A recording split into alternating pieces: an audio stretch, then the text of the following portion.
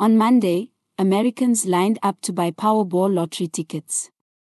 The Powerball jackpot is now a record high $1.9 billion. The lottery drawing on Saturday was the 40th in a row without a winner. The jackpot grows larger each time there is no winner of the top prize. To win the top prize, a lottery ticket must match all six of the numbers drawn.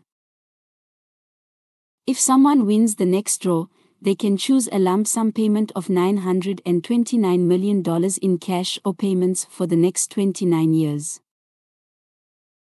The chances of winning a jackpot are 1 in 292.2 million. After the drawing on Saturday, many people tried to check their lottery tickets on the Powerball.com website. The website had so many visitors that it crashed. Greg Spencer, a retired truck driver from the suburbs of Atlanta, Georgia, wants to be the next winner. He bought two $2 tickets for the next drawing. I usually buy just one.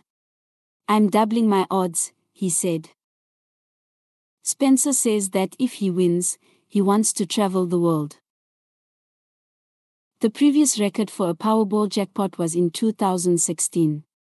The $1.586 billion jackpot was split amongst three winners.